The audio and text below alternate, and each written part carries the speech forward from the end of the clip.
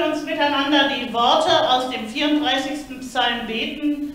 Der ist in Ihrem Bulletin abgedruckt und ich bitte Sie, die fettgedruckten Teile zu übernehmen.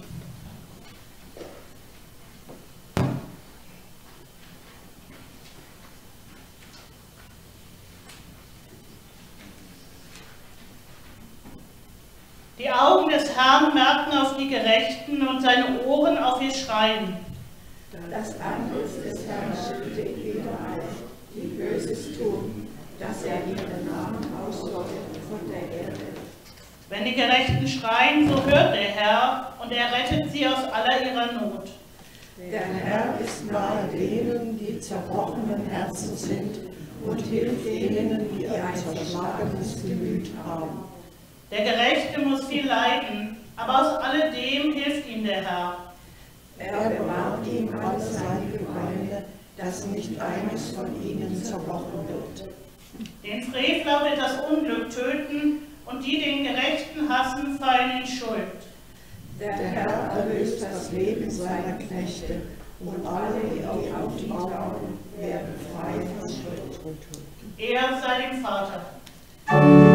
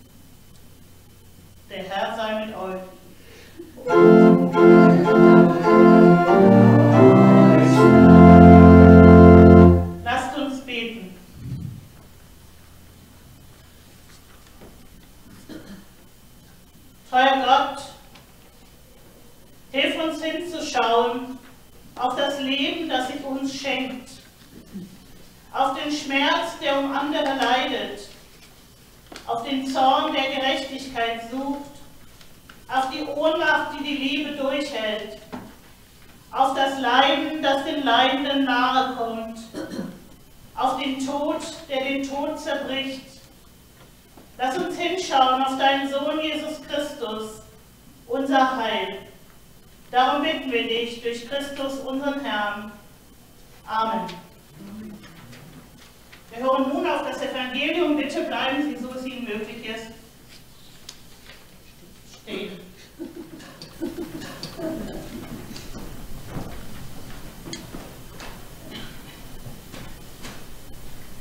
Das Evangelium für heute steht bei Lukas im neunten Kapitel. Als sie auf dem Wege waren, sprach einer zu Jesus, ich will dir folgen, wohin du gehst.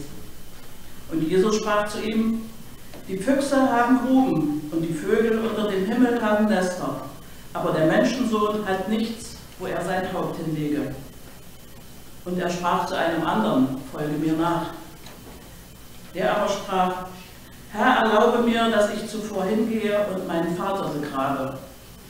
Er aber sprach zu ihm, lass die Toten ihre Toten begraben, du aber geh hin und verkündige das Reich Gottes. Und ein anderer sprach, Herr, ich will dir nachfolgen, aber erlaube mir zuvor, dass ich Abschied nehme von denen, die in meinem Hause sind. Jesus aber sprach zu ihm, wer die Hand an den Flug legt und sieht zurück, der ist nicht geschickt für das Reich Gottes. Der Herr segne sein Wort an uns. Amen.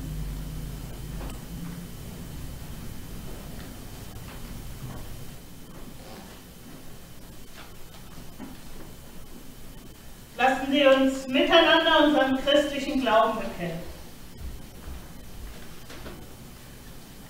Ich glaube an Gott, den Vater, den allmächtigen Schöpfer des Himmels und der Erde, und an Jesus Christus, Gottes eingeborenen Sohn, unseren Herrn, der empfangen ist vom Heiligen Geist, geboren von der Jungfrau Maria, gelitten unter Pontius Pilatus, gekreuzigt, gestorben und begraben, niedergefahren zur Hölle, am dritten Tage auferstanden von den Toten, aufgefahren gen Himmel, sitzen zur Rechten Gottes, des allmächtigen Vaters, von dannen er kommen wird, zu richten die Lebendigen und die Toten.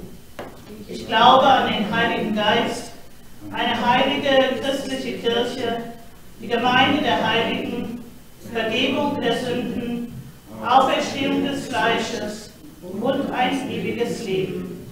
Amen. Der Himmel steht offen, Herr, weißt du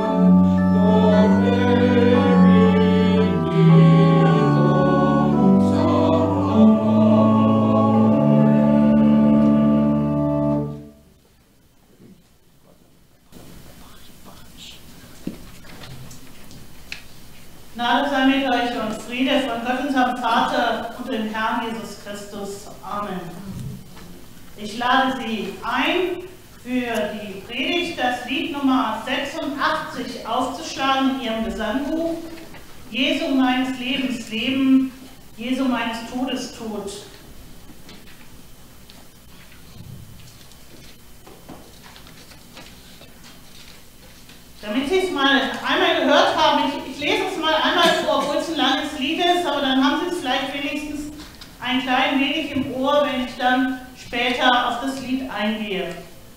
Jesu meines Lebens Leben, Jesu meines Todes Tod, der du dich für mich gegeben in die tiefe Seelennot, in das äußerste Verderben, nur dass ich nicht möge sterben, tausend, tausendmal sei dir, liebster Jesu, Dank dafür. Du auch du hast ausgestanden, Lästerreden, Spott und Hohn, Speichelschläge, Strick und Banden, du gerechter Gottessohn. Nur mich Armen zu erretten von des Teufels Sündenketten, tausend, tausendmal sei dir, liebster Jesu, Dank dafür. Du hast lassen Wunden schlagen, dich erbärmlich richten zu, um zu heilen meine Plagen, um zu setzen mich zur Ruhe.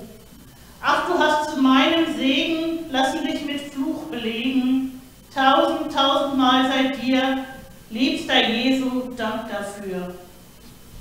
Man hat dich sehr hart verhöhnet, dich mit großem Schimpf belegt, gar mit Dornen dich gekrönet. Was hat dich dazu bewegt? Dass du möchtest mich ergötzen, mir die Ehrenkrone aufsetzen, tausend, tausendmal sei dir, liebster Jesu, Dank dafür. Du hast wollen sein, geschlagen, zu befreien mich von Pein. Fälschlich lassen dich an Klagen, dass ich könnte sicher sein, dass ich möge Trost erlangen, hast du ohne Trost gehangen, tausend, tausendmal sei dir, lebster Jesu, Dank dafür. Du hast dich in Not gesteckt, hast gelitten mit Geduld, da den herben Tod geschmecket und zu büßen meine Schuld.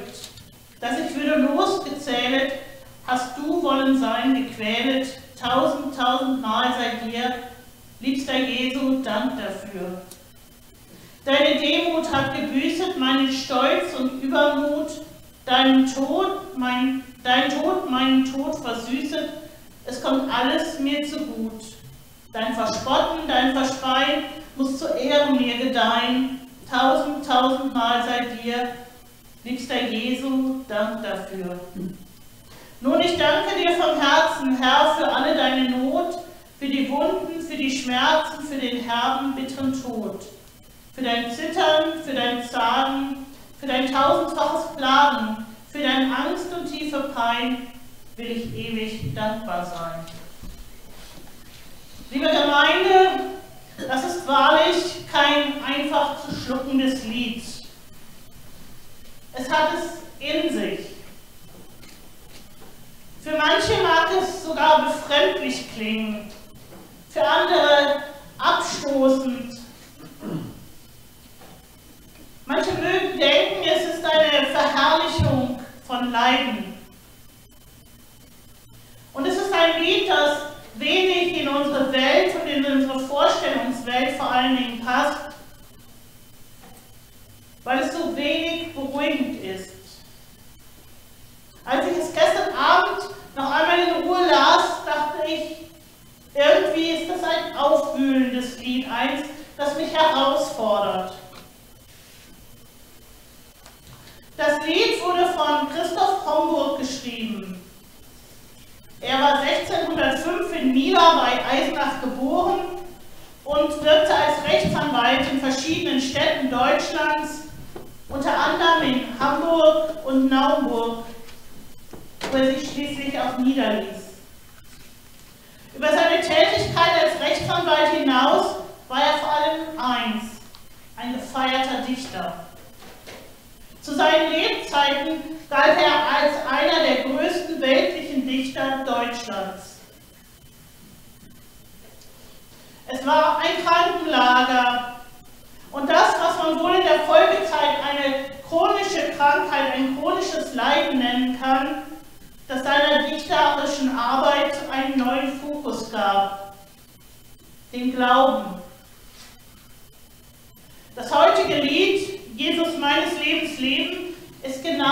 diesem Zeit, in dieser Der akuten Krankheit entstanden. Man muss darüber hinaus mit in den Blick nehmen, dass sein Leben immer noch geprägt ist von den Spuren des Dreißigjährigen Krieges. Als das Lied entsteht, ist dieser Krieg gerade mal drei, zehn Jahre vorbei und noch überall spürbar und sichtbar. Dazu kommt die immer wieder drohende Pest, die das Leben von Homburg und den Menschen dieser Zeit bedroht. In seiner Zuwendung zum geistlichen Liedgut, zur geistlichen Dichtung, wird Christoph Homburg ein großer Verehrer des Mystikers Angelus, Angelus Silesius. Er ist eine Berühmtheit zu seiner Zeit und ein Vertreter der Mystik, einer spirituellen christlichen Bewegung danach, die danach sucht, den Menschen komplett mit Gott zu vereinen. Gott und Mensch sollen eins werden. Christus im Herzen wohnen. Ein anderes, weit bekannteres Beispiel für diese mystische Bewegung und mystische Frömmigkeit ist Paul Gerhardt. Denken Sie an das Lied Geh aus, mein Herz, und suche Gott. O Haupt voll Blut und Wunden, es ist dieses Hineinversenken in die Schöpfung, in Gott, das Erfahren Gottes im Alltäglichen.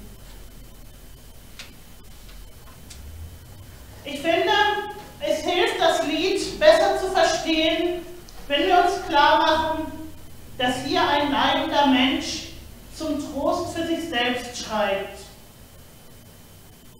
Christoph Homburg identifiziert sich sein Leben, sein Leiden, seine Erfahrung mit Jesu und seine Erfahrungen mit Jesu Leiden.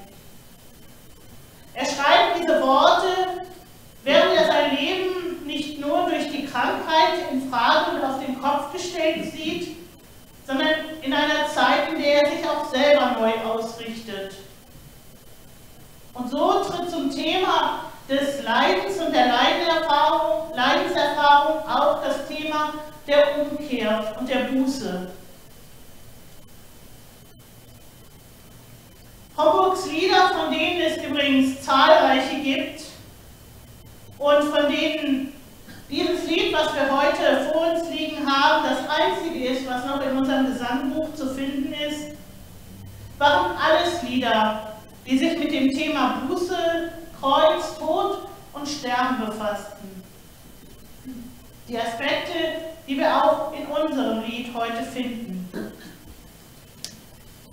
Lassen wir uns also einen Blick, lassen wir uns also einen Blick werfen auf das Lied, das vor Ihnen liegt.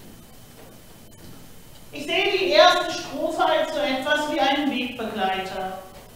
Jesu meines Lebens Leben, Jesu meines Todes Tod, der du dich für mich gegeben in die tiefste Seelennot, in das äußerste Verderben, nur, dass ich nicht möchte sterben.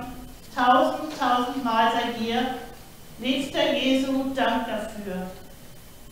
Diese erste Strophe steht über dem Lied fast wie eine Eröffnungsthese, die sich dann entfaltet. Und diese erste Strophe ist genau das, woran wir in der Passionszeit und am Karfreitag denken. Der Tod Jesu als Wegbereiter für unser eigenes Leben, ein ewiges Leben.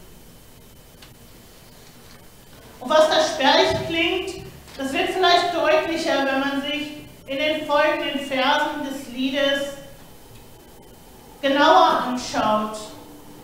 Ich habe es genannt, die Geschenkekiste auspackt.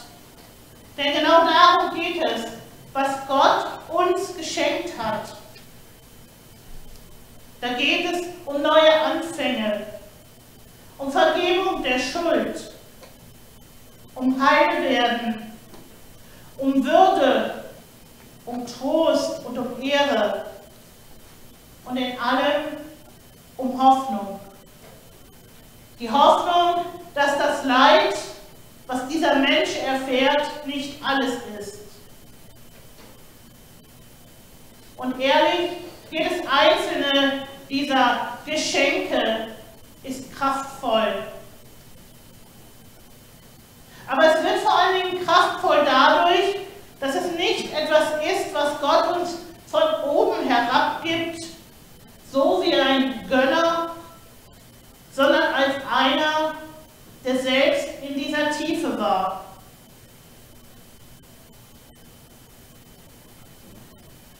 Ich versuche es mal so zu sagen.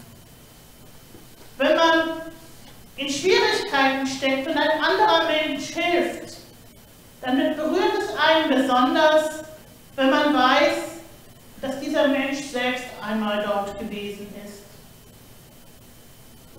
Dass der Mensch aus Ressourcen schöpft, die er erworben hat, in Anführungsstrichen erworben hat, in einer Zeit, wo er selbst dieses Leiden oder diese Herausforderung durchschreiten musste.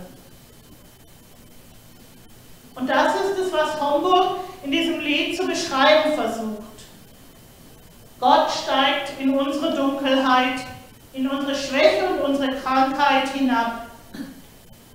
Er macht sich selbst zum Ausgestoßenen und Ausgegrenzten, aber nicht, weil er Leiden so schön findet oder weil er Leiden verherrlicht, sondern weil er trösten will, wirklich trösten weil er uns erreichen will und neue Hoffnung geben will. Und das geht nur, wenn man ganz nah beieinander ist. Aber wir wissen, und Homburg sagt es in dieser ersten Strophe ja auch schon, es ist ja mehr als das. Er will uns ja nicht nur nah sein, sondern er will dem Ganzen auch ein Ende setzen. Gott wird solidarisch mit den Menschen. Er macht sich, was wir manchmal sagen, gemein mit uns. Und da steckt die Gemeinschaft drin, das Gemeinsame, das Teilen. Gott macht sich selbst angreifbar, damit er uns angreifbaren Menschen nahe sein kann. Und wenn Sie überlegen, welche Menschen Sie am besten getröstet haben, dann werden Sie vielleicht so wie ich feststellen, dass es Menschen sind, die selbst einmal im Dunkel waren, die selbst einmal gelitten haben, die selbst getrauert haben. Es sind Menschen, die sich mit mir und meinem Leid identifizieren können und deshalb im besten Sinne des Wortes mitleiden, weil sie wissen, wie sich dieses Leid anfühlt. Und manchmal braucht es nicht mehr als diesen Mensch, der sich solidarisch an die Seite stellt und dort verbleibt. Und das ist, was Christoph Homburg in Christus findet. Ein Mensch, ja, aber nicht nur ein Mensch, sondern Gott, der sich solidarisch an die Seite der Menschen stellt. Nicht der große Führer, der durchgreift und gönnerhaft etwas gibt, sondern der, dessen Liebe zu den Menschen Berge versetzt und Hoffnung schenkt, weil er sich selbst der Situation, dem Leiden aussetzt. Ein sehr menschliches Beispiel hat mich in den vergangenen Wochen sehr beeindruckt. Ein Mensch, den ich nicht mal persönlich kenne, dessen Namen ich nicht einmal weiß. Auf der Social-Media-Plattform Twitter nennt er sich nur der willkürlich urteilende Gerichtshof. Dahinter steckt ein Jurist, der in Deutschland lebt und der in Spaßurteilen Menschen, die ihm auf Twitter folgen, zu Strafzahlungen verurteilt zugunsten guter Zwecke. Und das sind Spaßurteile. Da kann einfach einer ein Bild von einem süßen Hund gepostet haben und dann muss man 6 Euro ans Deutsche Rote Kreuz übersetzen, weil man zu süße Sachen geteilt hat. Was er aber gemacht hat, ist, In anderthalb Jahren hat er mit dieser Reise 150.000 Euro gesammelt. Für gute Zwecke. Was mich aber wirklich beeindruckt hat, ist dieses. Mit dem Beginn des Krieges in der Ukraine hat er sich einen Kleinbus beschafft. Er hat diesen als humanitäres Fahrzeug registrieren lassen und hat in den vergangenen zwei Wochen Hunderte, wenn nicht Tausende Menschen aus der Ukraine in Sicherheit gebracht. In seinem Fokus stehen alte Leute, Frauen, kleine Kinder.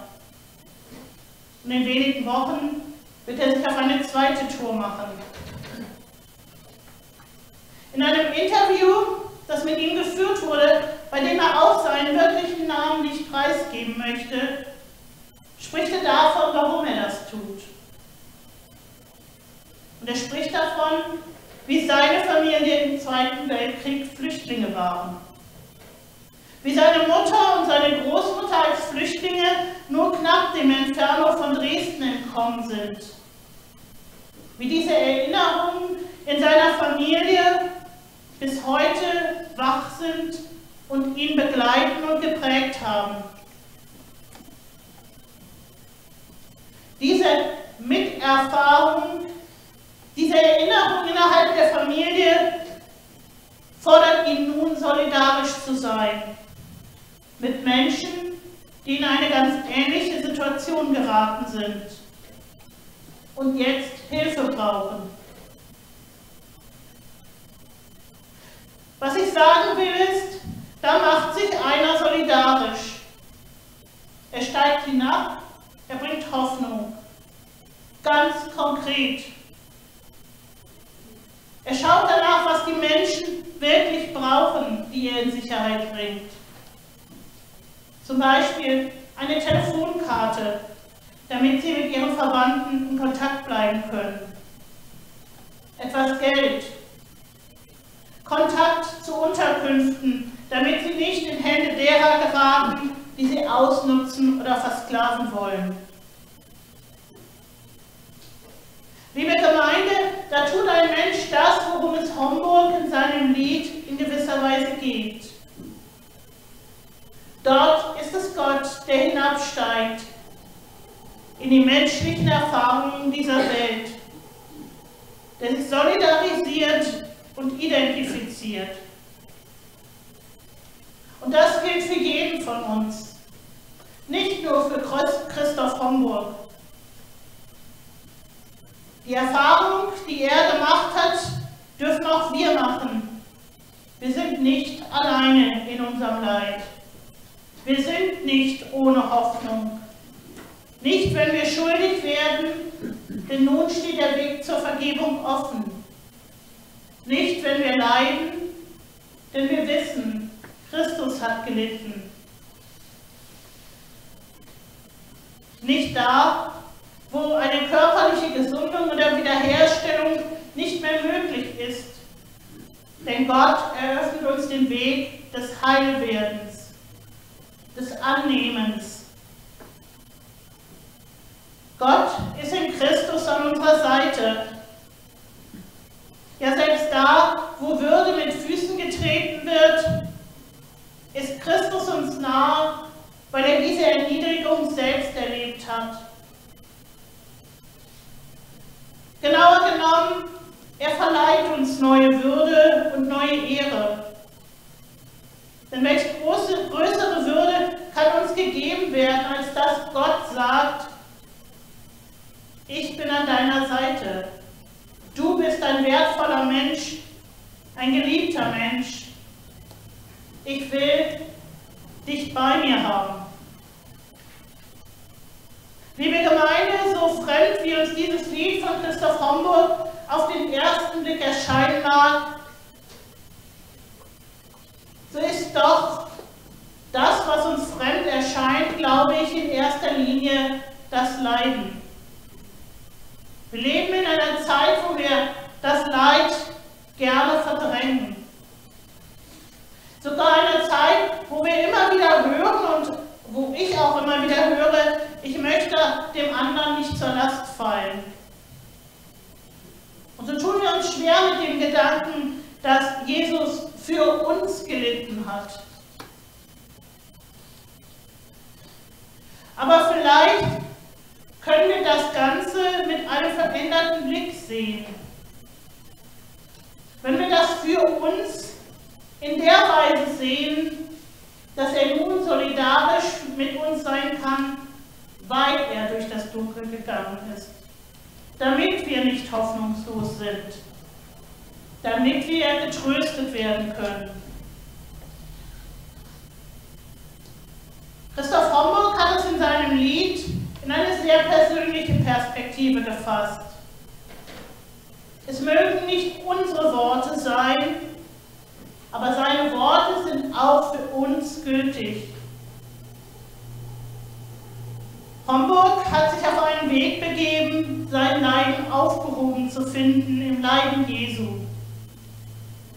Ich wünsche Ihnen und mir, dass wir ebenfalls diese Perspektive einnehmen können. Da, wo wir Trost, Stärkung und Heilung brauchen. Amen. Lassen Sie uns dieses Lied nun miteinander singen aus dem Lied Nummer 86, die Verse 1 und 6 und 8.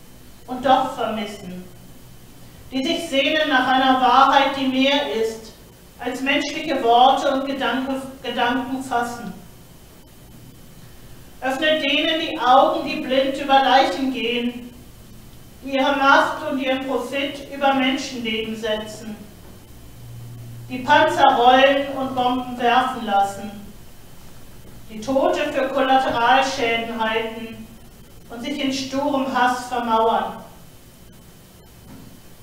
Öffne denen die Augen, die sich selbst aufgegeben haben, die versinken im aussichtslosen Tunnel der Angst oder der Depression, der Ohnmacht angesichts übermächtiger Gefahren, die nicht aufschauen können und sich nichts mehr erhoffen.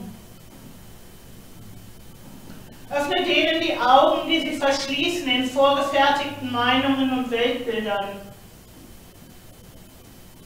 die ihre vermeintliche Wissenschaftlichkeit und ihre Selbstsicherheit in Logiken aus vergangenen Zeiten und in die Gewohnheiten des Wohlstandes, die nicht mehr offen sind und nicht mehr aufbrechen können. Öffne die Augen für die, deren Schmerz und Leid und Medikamente das Sichtbare trüben. Die Verwundeten im Krieg, die jungen Soldaten in Todesangst und Ohnmacht, denen, die in schwerer Krankheit auf den Tod warten, die Abschied nehmen müssen und es ist zu früh. Die beginnen zu schauen, wo der Blick bricht. Öffne uns die Augen, die wir so oft blind sind für deinen Willen mit uns, die wir uns so oft verschließen und uns dabei selbst fremd sind. Unruhig, verloren in Scheinbarkeit, suchend nach dir. Mensch geworden und für uns gestorben, Gott im Dunkel, Gott des Lebens. Erleuchte unsere Dämmerung und öffne uns die Augen, dass wir wachsam ausschauen und dich erkennen in allem, was uns entgegenkommt. So beten wir gemeinsam, Vater unser im Himmel, geheiligt werde dein Name, dein Reich komme, dein Wille geschehe wie im Himmel, so auf Erden. Unser tägliches Brot gib uns heute und vergib uns unsere Schuld, wie auch wir vergeben unseren Schuldigern. Und führe uns nicht in Versuchung, sondern erlöse uns von dem Bösen. Denn dein ist das Reich und die Kraft und die Herrlichkeit in Ewigkeit. Amen.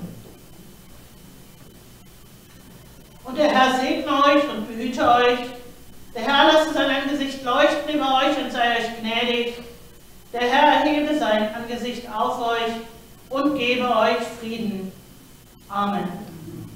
Lassen wir uns miteinander singen, 421, Verleihungsfrieden gnädiglich.